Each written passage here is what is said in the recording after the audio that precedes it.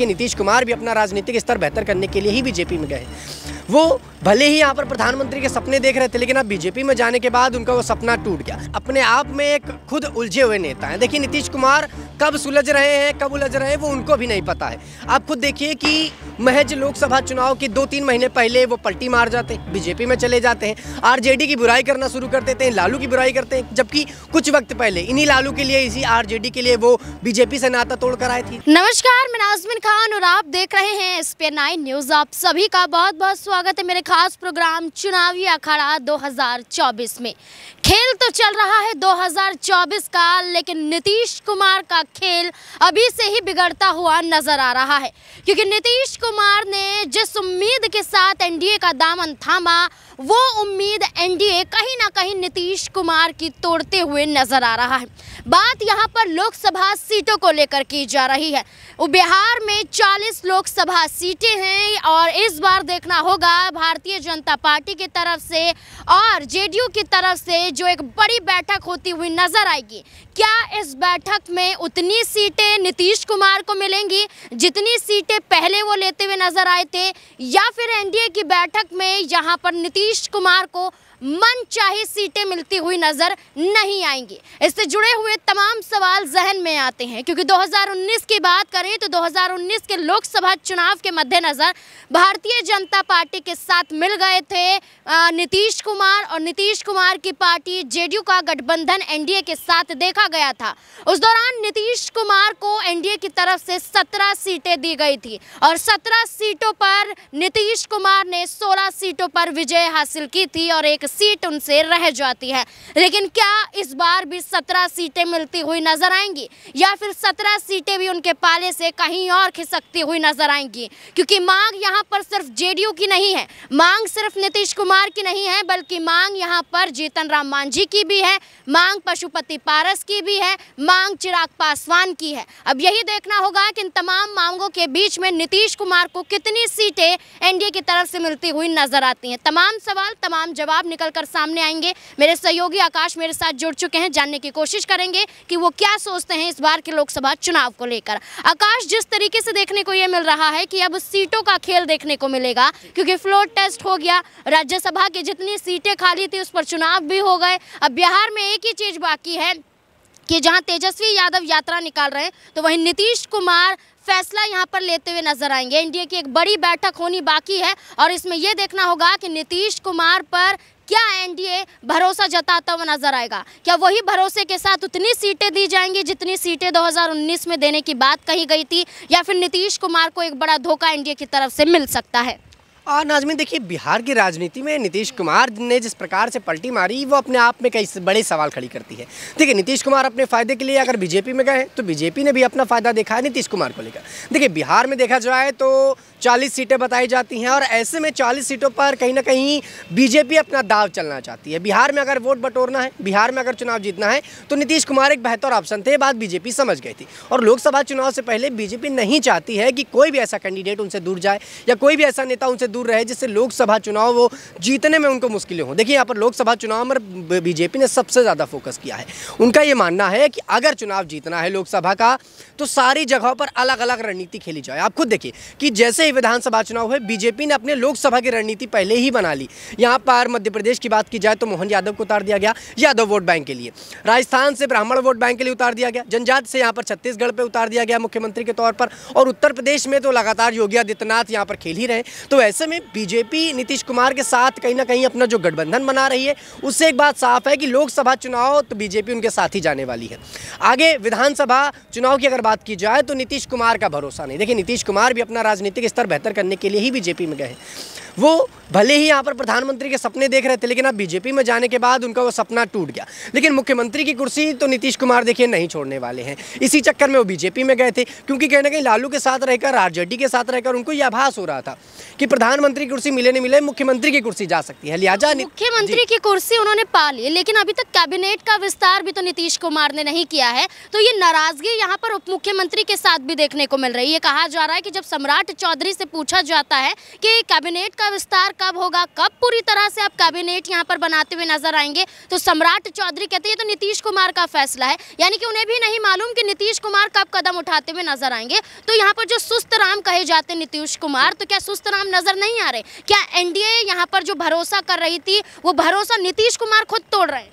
वाकई में देखिए, नीतीश कुमार अपने आप में एक खुद उलझे हुए नेता हैं। देखिए, नीतीश कुमार कब सुलझ रहे हैं, कब उलझ रहे हैं, वो उनको भी नहीं पता है। आप खुद देखिए कि महज लोकसभा चुनाव के दो तीन महीने पहले वो पलटी मार जाते हैं, बीजेपी में चले जाते हैं, आरजेडी की बुराई करना शुरू कर देते हैं, लालू की बुराई करते हैं, जबकि कुछ वक्त पहले, इन्हीं लालू के लिए, इसी आरजेडी के लिए वो बीजेपी से नाता तोड़ कर आए थी। तो बीजेपी या नीतीश कुमार, इन दोनों को अपना फ़ायदा दिखाई देता है।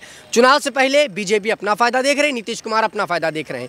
यही सम्राट चौधरी हैं जो कुछ वक्त पहले यहाँ पर नीतीश कुमार को गाली दे रहे थे, नीतीश कुमार की बुराइयाँ कर रहे थे, साफा बाँध के घूम रहे थे कि जब तक हटा नहीं दूँगा, तब तक साफा नहीं खोलूँगा, और अब उनके साथ आ गए हैं तो तारीफ़ के पुल बाँध रहे हैं। तो राजनीति में और ख़ास तौर पर बिहार की राजनीति में कोई किसी का सगा नहीं है। चाहे वो लालू यादव हो, चाहे वो तेजस्वी यादव हो, चाहे नीतीश कुमार हो, चाहे सम्राट चौधरी हो।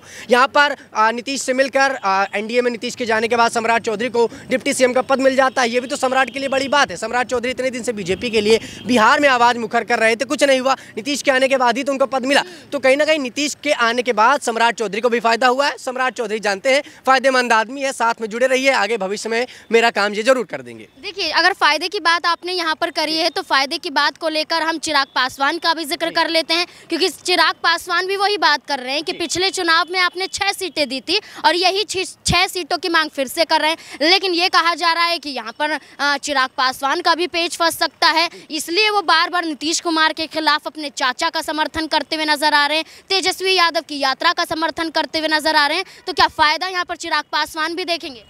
और देखिए, चिराग पासवान का एनडीए में फ़ायदा मुझे तो नज़र नहीं आता। इससे पहले भी जब बैठकें चल रही थी तो चिराग पासवान एनडीए में गए थे फ्लो टेस्ट से पहले गए थे। उनको उम्मीद थी कि फ्लो टेस्ट से पहले इनके अकेले के जो वो सांसद हैं तो बीजेपी उनको अपना लेगी। देखिए, बीजेपी इस वक्त बहुत तीखी राजनीति कर रही है और चाणक्य यूँ ही नहीं कहा जाता बीजेपी को।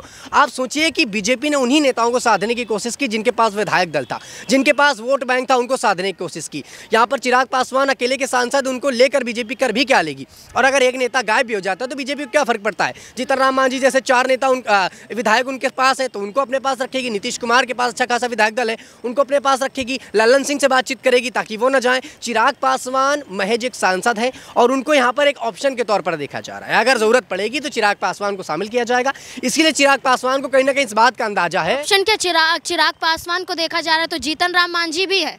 बिल्कुल क्यों नहीं? देखिए बड़े नेताओं की बात की जा रही बड़े यहाँ पर विधायक दलों की बात की जा रही तो जीतन राम मांझी के पास सिर्फ़ चार ही विधायक दल है। कोई बहुत बड़ा आंकड़ा उनके पास नहीं और अगर बीजेपी के पास बिहार में अगर दूसरे खेमे से विधायक दल लाना आसान हो जाएगा तो जीतन राम मांझी की मुझे नहीं लगता ज़रूरत पड़ेगी। और बीजेपी ऐसा कर भी सकती है। जब वो मुख्यमंत्री को अपने साथ ला सकती है, आरजेडी को तोड़वा सकती है तो चार विधायक दल दूसरे खेमे से लाना बीजेपी के लिए कौन सी बड़ी बात है? लेकिन अगर बात यहाँ पर चिराग पासवान की आप कर रही हैं तो चिराग पासवान एक ऑप्शन के तौर पर देखे जा रहे हैं। इसका अंदाज़ा उन्हें भी है, और वो भी जानते हैं कि बीजेपी शायद में उनका भला कुछ करे ना करे इससे पहले एक और अपने हिसाब से ऑप्शन लेके चलिए एक बैकग्राउंड कहीं ना कहीं प्लान करके चलिए कि तेजस्वी के साथ जुड़ सकते हैं। यहाँ पर बड़ा पद मिले ना मिले हमारी सांसदी नहीं जाएगी एक आध राज्य से हम कहीं ना कहीं नेता बने ही रहेंगे। राजनीति में हम कहीं ना कहीं दिखाई देते रहेंगे। विलुप्त होने से अच्छा है कि छुप कर कहीं ना कहीं बैठे रहें। देखिए बिल्कुल यहाँ पर चिराग पासवान के साथ तेजस्वी यादव बेशक समर्थन करते हुए ना नज़र आए लेकिन जीतन राम मांझी का समर्थन करते हुए नज़र आए। जैसे कि यहाँ पर चिराग पासवान के तहत यहाँ पर तेजस्वी यादव ये कहते हुए नज़र आए कि जीतन राम मांझी की बदौलत ही नीतीश कुमार आज मुख्यमंत्री बन पाए हैं। तो क्या जीतन राम मांझी की बदौलत मुख्यमंत्री बने? यहाँ पर नीतीश कुमार। देखिए नाजमीन, इस पर अपने आप में तमाम अवरोध है। देखिए, एक तरफ़ जीतन राम मांझी ये बताते हैं कि नीतीश कुमार जब थे, तब मुझे मुख्यमंत्री बनाया था। पर नीतीश कुमार की जब यहाँ पर उनसे नहीं बनती तो वो बुराई करते हैं कि नीतीश कुमार ने मुझे भले ही मुख्यमंत्री बनाया था, लेकिन जब मैं काम करने लगा तो उनके लोगों ने कान भर दिया कि ये तो काम कर रहे हैं, आपका पत्ता गायब हो जाएगा। तो जीतन राम मांझी हो, चाहे नीतीश कुमार हो अपने अपने समय में अपनी अपनी बातें कर रहे हैं एक दूसरे पर इल्ज़ाम लगा रहे हैं कि उनकी वजह से मैं बना, मेरी वजह से वो बने। लेकिन यहाँ पर सत्यता यही है कि जो बिहार की राजनीति है, वो सिर्फ़ और सिर्फ़ मौका परस्त है और यहाँ पर मौका देखते ही नेता बदलते हैं और यहाँ पर मुख्यमंत्री की कुर्सी हथियार लेते हैं। जी, बिल्कुल। यहाँ पर एक आखिरी सवाल ये रहेगा कि अगर नीतीश कुमार यहाँ पर जिस उम्मीद के साथ, एनडीए के साथ जुड़े थे, अगर यहाँ पर एनडीए उतनी सीटें नहीं देता है तो क्या वापस तेजस्वी यादव के पास जा सकते नीतीश कुमार? ज़ाहिर तौर पर देखिए, नीतीश कुमार जब बीजेपी में अपने स्वार्थ के लिए जा सकते हैं तो आरजेडी में जाना उनके लिए कौन सी बड़ी बात है? ये तो वही बात हो गई कि एक बार आए हैं तो दोबारा फिर जा सकते हैं। दरवाजे बंद हुए तो खुले हैं। लालू तो कह रहे हैं कि दरवाजे हमेशा खुले हैं। जब चाहो चले आओ।